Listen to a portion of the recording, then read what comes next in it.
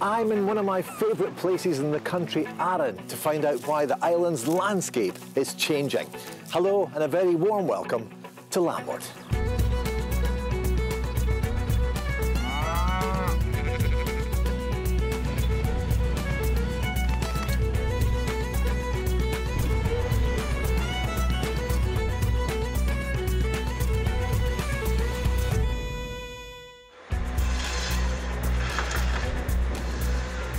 Later, I'll be finding out why this forest and others like it across the island have been felled by huge harvesters like that one behind me. Up to 3 million trees could be sacrificed to stop deadly larch tree disease spreading to the rest of the country. Also in the programme, Ewan meets the woman determined to bring cultural diversity to the countryside. There is a lack of volunteers, a lack of senior level staffing from BME representation. But first, to the hills just above Loch Lomond. In recent years, farm tours have become increasingly popular. But during lockdown, that was off the cards. So JJ went to find out how one farmer used technology to bring a springtime favourite live to the world. This is Lennox of Lomond Farm, and over a thousand lambs will be born here in the coming weeks. But if that wasn't enough pressure to be under, they're also going to be live broadcasting their lambing sheds.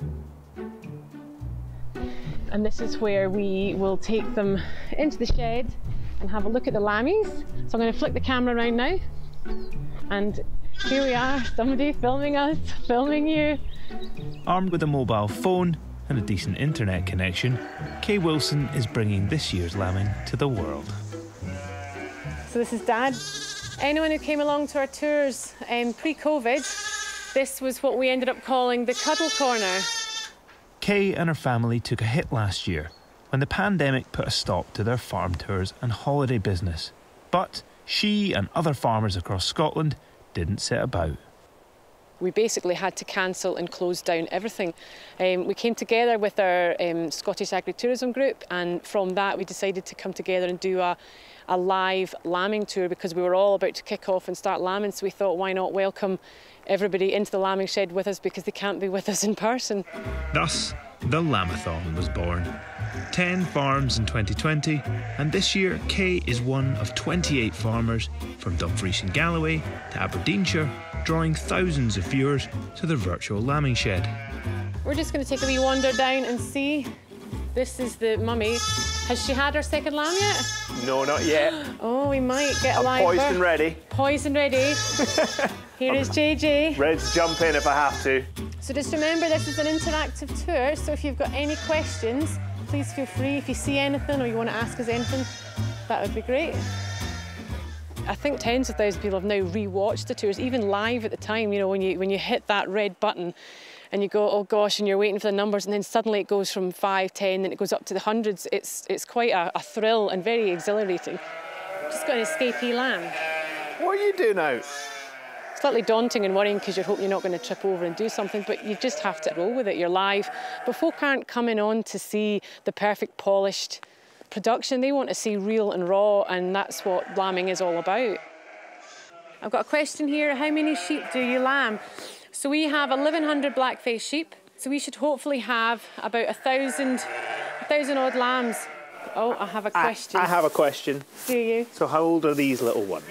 So they are just a couple of days, and these guys here were just born yesterday um, afternoon. I've done my fair share of live presenting, and they always say don't work with children and animals. Uh, I mean, this is unpredictable. These are animal children, and nature doesn't wait for anyone, does it? She's doing an amazing job. No live births to stream today, but our you from earlier has delivered. And I have just noticed in all the commotion, this sheep has just dropped out her lammy. And really quietly she's done it.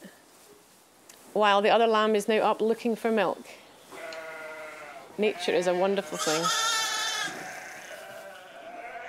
Okay, guys, so thank you so much for tuning in. It's been great having you. Bye, guys. Thank you.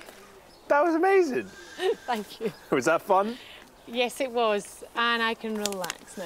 Really? Yes. It was fun. Was it stressful? What's it like? It's really stressful. Who was watching today? We had Poland, I think we had um, Oregon, we had, well, that's obviously America, we've got down in England, we've got local people, there's some local friends of mine tuned in. So, yeah, so there's, it's just, it's all over, and that's what's amazing. Oh, trust me, you make it look very easy. Thank you, that's very much good praise from you. uh, uh, yeah, it's uh, I mean, nothing that we've ever thought we would do before, and it's just been, it's been nice to be part of it. All we need is a mobile phone, a cheap selfie stick and a mic and we can bring people into our life and show them a bit of reality on a farm.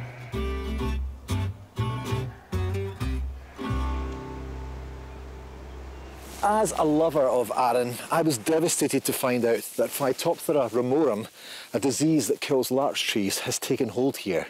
So this landscape, a landscape I adore, is going to change, and it's going to change dramatically.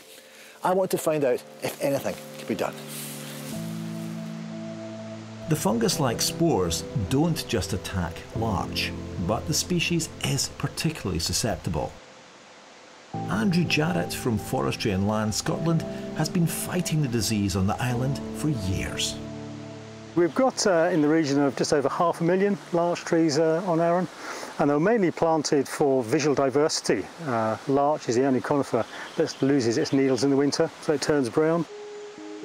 Uh, a lot of light gets to the forest floor and promoting a lot of biodiversity, a lot of range of, of plant species. It's also very good for, for raptors, so raptors like to nest in larch and it's also good for squirrels as well. We're among the healthy trees just now, but a few minutes walk into the forest reveals the impact of the disease. What we can see is roughly about 4,000 uh, diseased uh, larch trees. Uh, the big brown patch in the middle and the big long brown patch across the, across the top being killed by Phytophthora. It's a real shame. The trees would never have been felled, they would have been left until they decayed naturally and other trees started coming up underneath them. Unfortunately now, we've got to fell them. So the landscape will change dramatically? Uh, unfortunately it will, yes.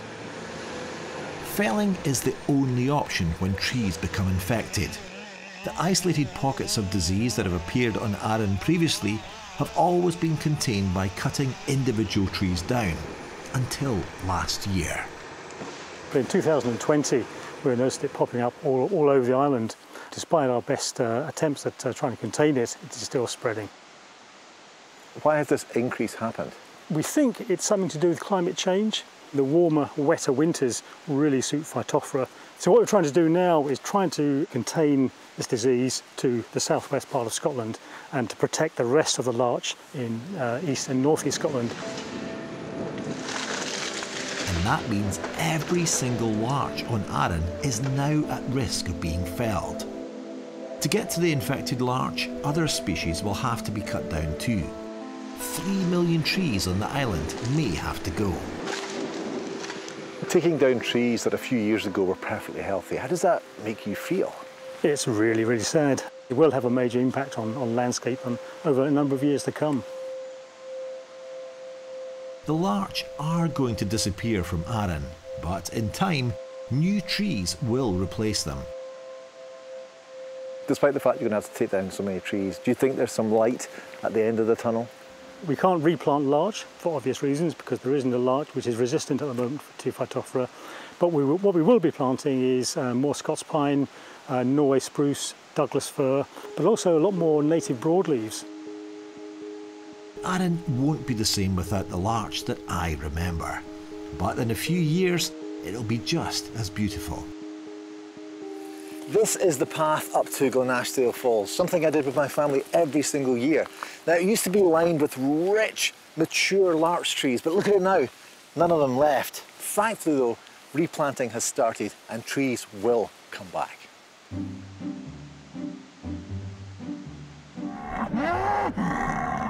As we saw earlier, streaming has been a vital part of the way we connect in recent times. And this year, it's going to allow the return of the Royal Highland Show.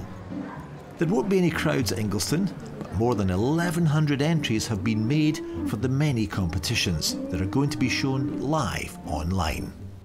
In Dumfries and Galloway, one family are getting their belties ready. and preparing for a battle across the generations. We sent Anne to meet them. Not far from Castle Douglas, Anne Bell has been rearing belted Galloway cattle for the last 20 years. What is it that you love about the Belty breed? Well, they're so handsome. The temperaments are tremendous. They're just good friends. But you've had a few winners over the years, haven't you? Loads, yes. I've won the Highland Show four times. This year, Anne is banking on her heifer, Camellia. I can tell when the cattle are born whether they're going to be good ones or not. And they show themselves off. I mean, they've got to know they're winners. Mm-hmm. And they do, because the ones that are winners are the most difficult ones to deal with. Anne is getting some competition from within the family this year. Her granddaughters are taking their belties to the show for the first time. Daisy is looking for a prize with her calf, Yvette.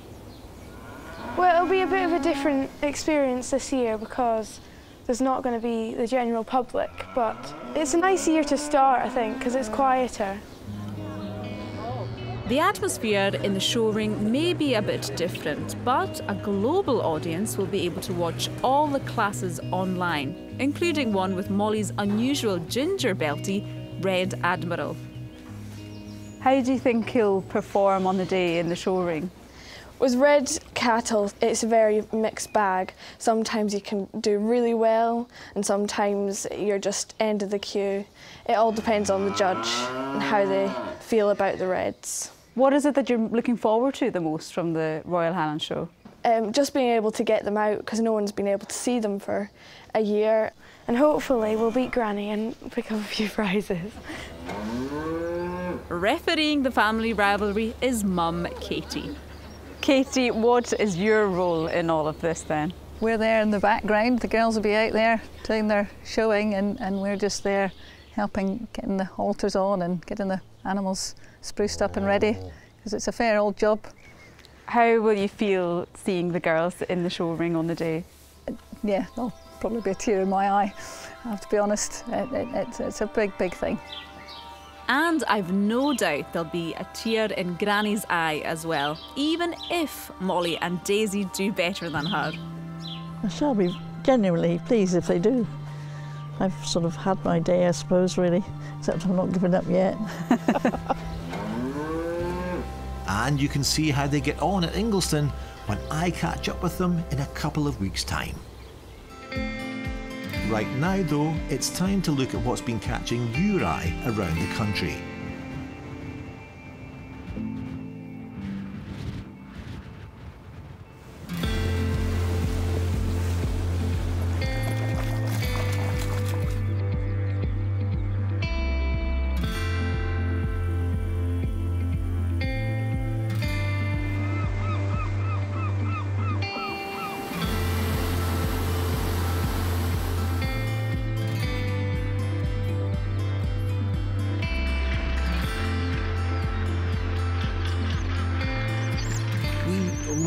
Sharing your videos. Please do keep them coming. Details on our website.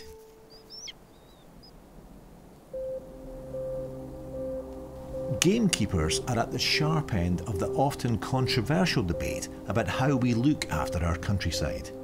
Antagonistic exchanges on social media seem to be on the rise. But it's no longer just online. The anger displayed towards estate staff and those who work in shooting sports is becoming increasingly personal, as I found out earlier in the year. Recent government research suggests that almost two thirds of all Scottish gamekeepers have experienced threatening or abusive behaviour at least once a year. The 150 or so gamekeepers who were surveyed had plenty to share. Some of the stories that emerged were shocking. Verbal abuse, death threats left on gamekeepers' voicemails, and letters threatening estate owners' children. Really nasty stuff. See there, Dougie, we've got some deer moving around. Uh, you don't often see that during the day. Mike Holliday is gamekeeper on Glenample Estate near Loch Earn in Perthshire, and he's no stranger to this kind of behaviour. So tell me your own experience of abuse. The most serious one I ever had, it started off, my wife and daughter were walking along the, the road, one of the roads that comes back towards the house. And this couple who you wouldn't have expected to have been sort of that way inclined suddenly started ranting on her about shooting being not nice and all this. The daughter was that frightened she went and shut herself in the kennels. He'd then crossed down onto the bottom path and I went down and said, look, I'm not very happy with that. Uh, just language quite good. And I said, well, I think you owe my wife an apology. And I said, I think you better come in. And as I opened the gate, he picked up a fence post. Really? And came at me with a fence post. Goodness me. Which was, put it bluntly, a little off-putting. In the end, I thought, this is not the time to be brave or stupid. Shut the gate, walked away. There's been minor things since where we're standing now. Been shouted at and swore at for cruelty to pheasants and that kind of thing when you're shooting. They can disagree, they can dislike what we're doing. I don't mind. But when it gets nasty and there's a real hate in it, that's it's, it's not nice. One factor in the abuse levelled at the gamekeeping fraternity results from the perception that gamekeepers are responsible for the unpleasant and illegal persecution of raptors. Mike acknowledges that a small number of gamekeepers have been prosecuted, but feels his colleagues are being unfairly tarnished. The vast majority are doing the right thing, and an opportunity for them to explain their work would perhaps silence some of the criticism. I think any of us would be happy to take MPs out, MSPs out. I think the more we could do that and engage with the middle ground, then the voices of the noisy few would start to get deafened out by the middle ground. Someone with differing views on the countryside is Logan Steele. He's from the Scottish Raptor Study Group.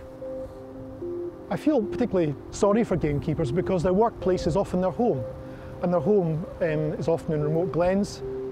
Despite his differences with some of the gamekeeping fraternity, he's appalled by the treatment Mike and his colleagues have faced. It must be very annoying, frustrating, concerning for keepers to um, undergo such abuse. We completely call it out. It's ridiculous and uh, it just should not be happening. And I also think that um, with more and more people going outside in the countryside, especially people who are perhaps enjoying the countryside for the first time, there's a lot of ignorance. I don't think they understand how keepers operate, how the countryside operates. And I think there's a fair degree of um, abuse coming from ignorance. Logan and his colleagues have themselves frequently been subject to abuse from those associated with gamekeeping. He thinks a more reasoned debate is needed from all sides. The issue seems ridiculously polarised, lots of banging of heads. Well, it's not polarised. There's huge amounts of grey. And many raptor workers, myself included, have very good relationships with gamekeepers, uh, right across the spectrum, gamekeepers, stalkers, gillies, farmers, crofters. One big thing that could make a huge difference overnight would be if they stopped illegal killing of raptors. That fuels so much ill feeling amongst the general public and conservationists as a whole. I understand why people get riled on both sides. They're angry because they care about the countryside. I just hope that the conversation can return to something a bit more civilised.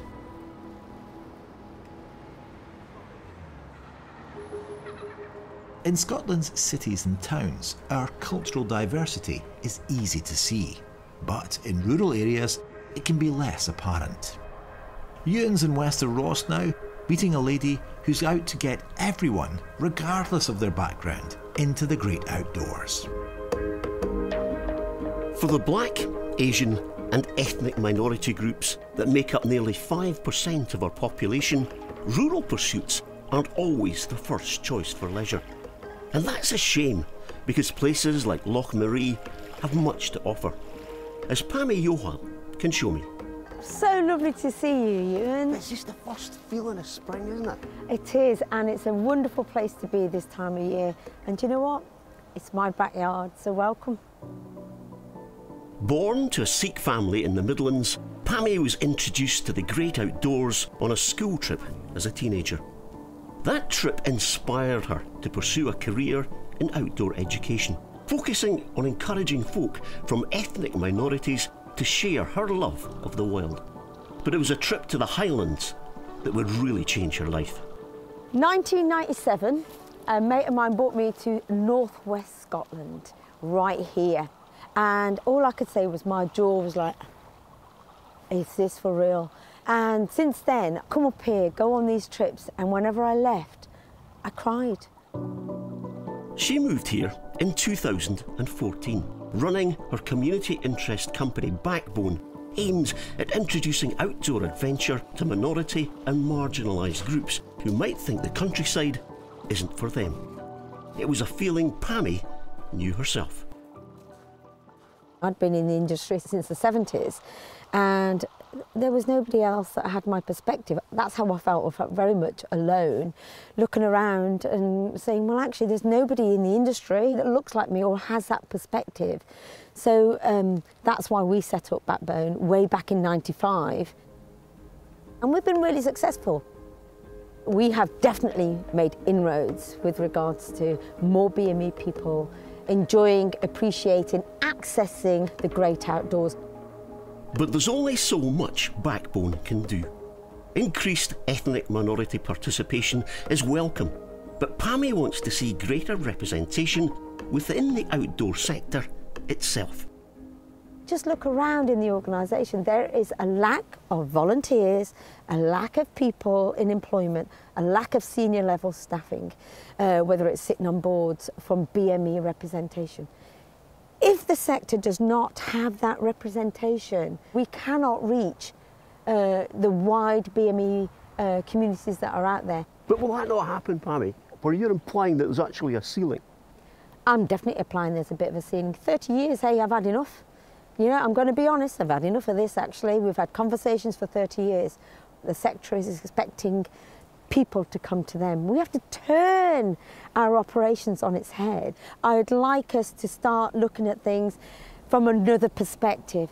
It's a lack of opportunity to leadership roles within the sector, and therefore it is the sector's responsibility to open those opportunities to all communities. And to that end, Pammy is holding a symposium getting together representatives of ethnic minority communities and the outdoor sector with the aim of turning three decades of talk into activity. If you're serious about this, you need to action change. And this symposium is about what are we going to action? We're fed up of conversations and we made it really clear, please join this next movement that we're doing, but only if you want to action change. Well, if anyone can make that happen, I believe it will be Pammy. And if you want to know more about Backbone or the symposium, please visit our Facebook page. Now we're off to Perthshire, continuing our series looking at the Scottish craftspeople bringing a new perspective to our traditional skills. This time JJ is catching up with a builder pushing the boundaries of his craft. These walls are part of the fabric of the Scottish countryside, but to build one that is stable without any visible means of support is no mean feat. Dry stone diking, or at least the principles of it, have been around since prehistory. And continuing that tradition is the unhelpfully named Martin Tyler. He's currently working on this substantial piece of architecture for Innerpeffray Library near Crieff. Martin, this is beautiful. Yeah. But what is it? So this is a, a dry stone uh, talking circle. So it can be multi-use, um, a place for people to come and potentially get married, do poetry readings, uh, come and sit and eat their lunch and just enjoy it. Is it as easy to build as you make it look? Unfortunately not. There's quite a lot of rules and techniques that you have to follow to make sure the wall is going to last the test of time. So talk, talk me through it. You, you, get your stone and then you immediately look for the face. Right. So you pick the nicest face of the stone. It's a beaut. And then when you lay it in the wall, you want all the length going in the wall. So Right. Strong as long, strength in length. Right, so unlike brickwork where you're kind of going with a nice big surface area at the front. Just forget everything about brickwork. There's no, right. no cement, it's all just positioning, weight of the stone. And then once you lay your stone, you go for these little guys here, which call your, your packing or your hearting, it's called Right. in Scotland, or your pinning stones, and, and jam it all in to make sure there's no wobble. When you look at a, a dry stone dike, all you see is the face stones and then the look of it, but inside there's a whole, there should be a whole lot going on. So it's, it's like a jigsaw puzzle, but there's no picture. So, how does your approach differ working on something like this against something out in a field? Um, aesthetics, agricultural work, people viewing that wall are going to be sheep, most in this part of the world. So they're not too fussed with how it looks, if that makes sense. Farmers like the wall to be functional. A big thing for me is kind of the heritage and the tradition. Right. It is a, a heritage craft after all. Yeah, because I mean, it's, it's beautiful. Uh, Thank you very much. but yeah, I mean, that's the thing. If the drystone wall is built correctly, right stones in the right places, there's no real reason why it shouldn't last a long, long, long time. All right, so famous last words then. My, my little patch so far, wh- wh- how long will that stand? That'll stand for a long time, JJ. I think you've done a good job there. I'll, gi- I'll give you a job. And I'd probably take it. As building sites go, it's better than most. You don't have your radio on, I notice. This is the, this is the sort of place. In fact, this is probably one of the few places where I don't feel the need to to have a radio. 'cause you just listen and just listen to the river and the birds. It's beautiful. Beautiful. That's almost it for this time, but there's lots more coming up in the next programme. Saving the planet with agroforestry. We are getting judged by whether we are emitting carbon or whether we are carbon neutral or whatever. Our markets are looking for us to provide a net zero product. And bee business, crucial key workers on our fruit farms. We've got around about half a million honeybees busy pollinating all the cherry blossom in here at the moment. Wild bees can't cope with the amount of blossom that's on the site here, so we've got to bring some more bees in. Please join us for that and much, much more. In the meantime, from the Landward team here in Arran, thank you so much for your company. Bye for now.